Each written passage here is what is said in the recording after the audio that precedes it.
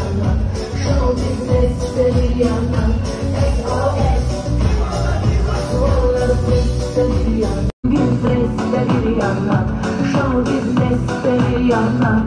SOS Duvarları de bir yana Bütün gün